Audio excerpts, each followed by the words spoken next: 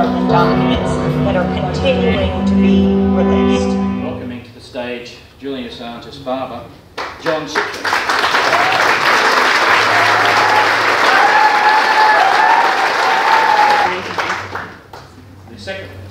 The second, person I'll welcome to the stage is probably someone who doesn't need any introduction to a West the West End audience, I'm sure, is Ciaron O'Reilly. So the there'll be two journalists conducting these interviews. They are both from the Independent Australia website. The first one is uh, David Donovan, who was born in 1970 and has vast experience uh, in, in journalism. Um, Ciaron, you've become famous for, among other things, your non-violent anti-war protests, um, for which, uh, for defacing and disabling war aircraft, American war aircraft, you, like Julian, served some time in prison. Uh, I think 12 months in the prison in prison in the US. Is that right?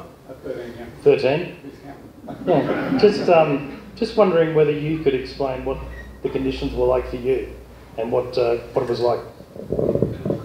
Uh, yeah, I mean, I'd like to acknowledge the traditional owners of this country and also acknowledge um,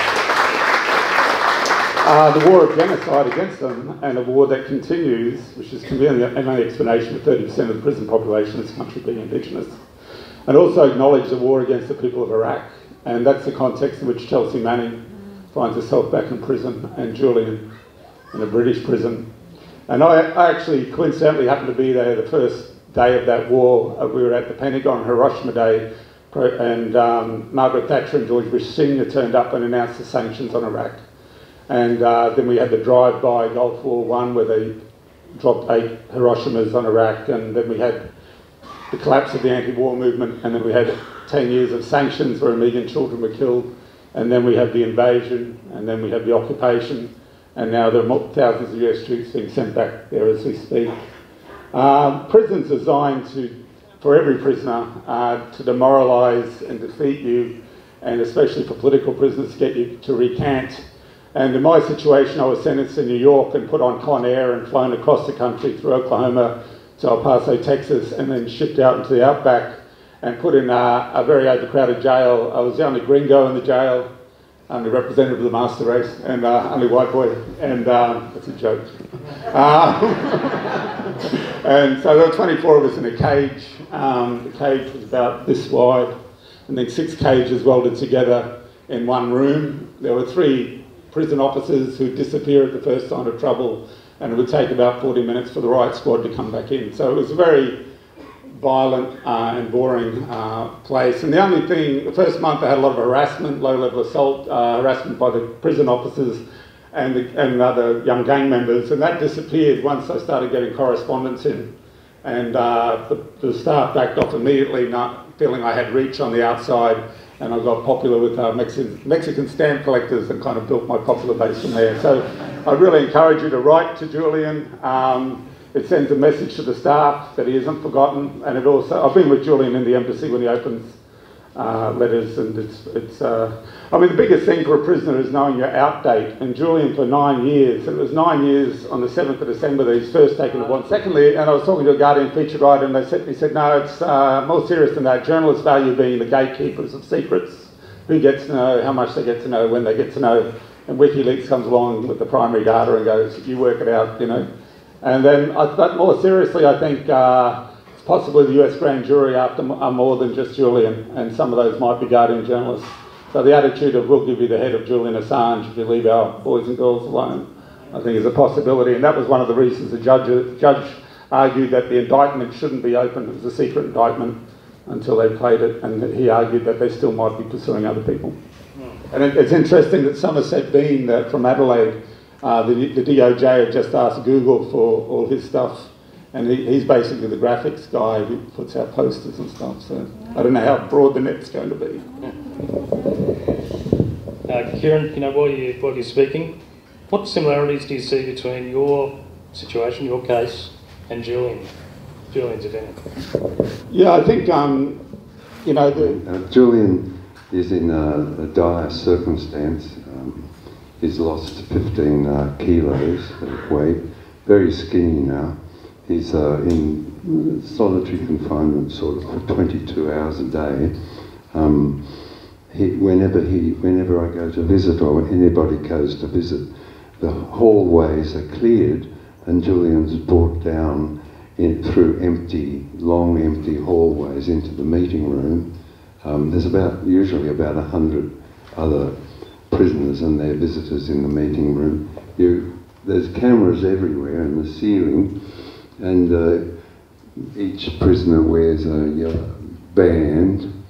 Um, you have to speak like this so that you can't be lip, lip read if you have, want to exchange private information. You know, if I ask Julian, how are you? Um, or any other personal information, you know, his children or so on.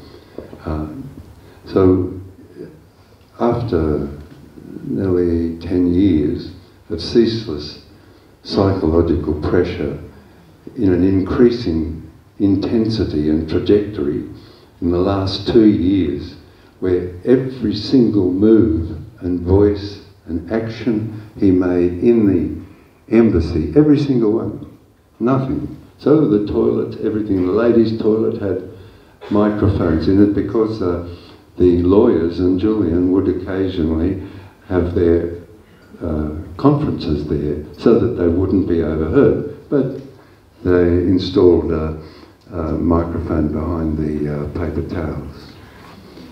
So you can imagine the effect of that year after year. And towards the very end, rude and aggressive security men, lawyers uh, given permission to visit and sent away, um, food forgotten to be delivered, it's their responsibility to feed him, he can't go out.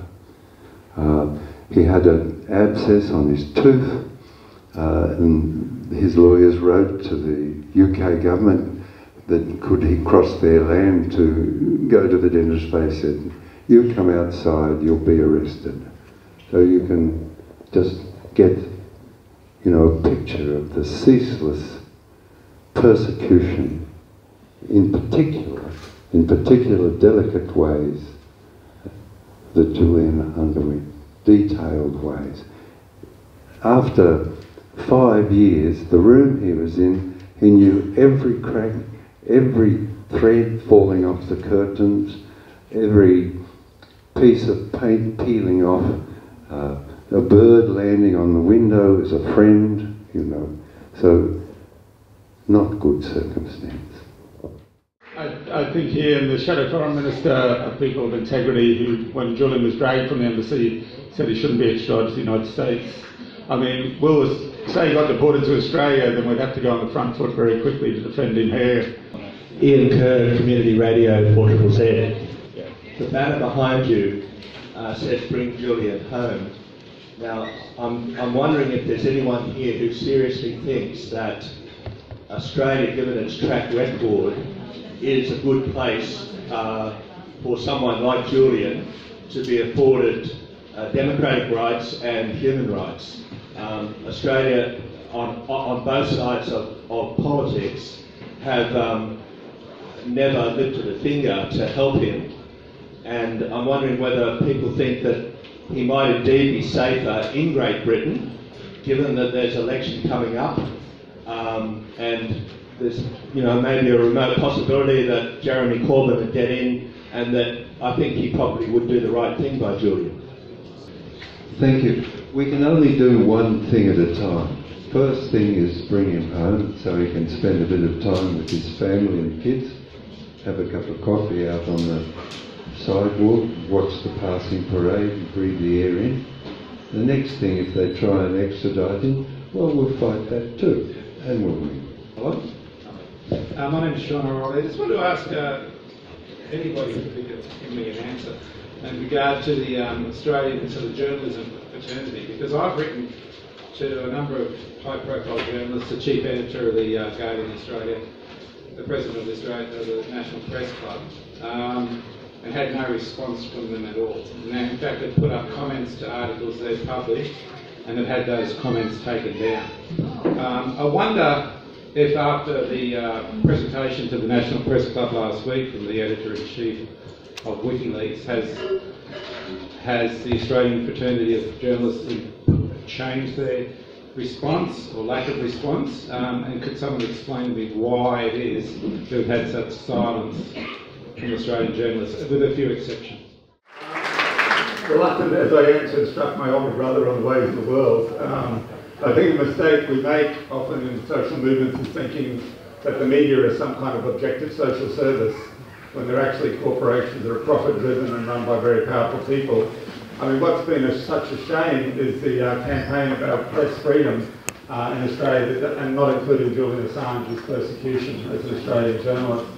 I'm also disappointed with Peter Greste um, saying that Julian isn't a journalist. I mean, journalism is it's not ordination, you know, it's, it's something you do. We're all journalists. It's a basic right uh, to, to, be able to write and reflect on things that are happening around you. And uh, yeah, that'll lead us perhaps and lead nowhere.